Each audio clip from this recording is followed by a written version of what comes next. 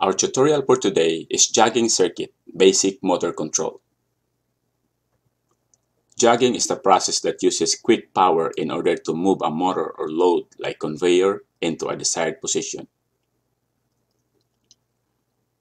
According to NEMA, National Electrical Manufacturers Association, jogging is a quick repeated closure of a circuit to start a motor from stop motion for the purpose of accomplishing a small movement of the driven machine.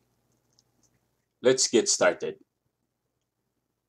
When you press the start button, the current flows from line 1 goes through the stop push button that is connected in series with the circuit, through the start push button that is connected in parallel,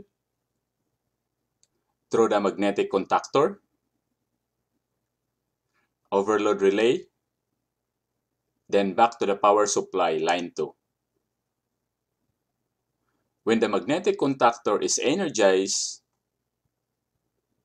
the normally open contact, which is our latching or sealing contact, will close.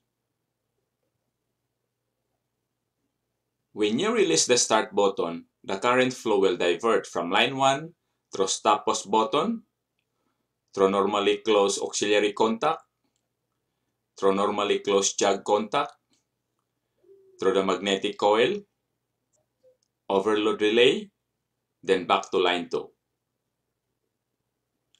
When you are going to press the jog push button,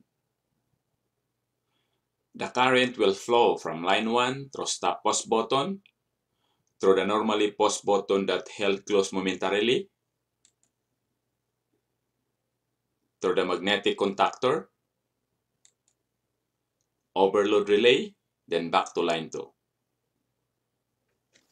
Thank you for watching and see you on the next video. If you like this video, please like, share, and subscribe. Have a good one.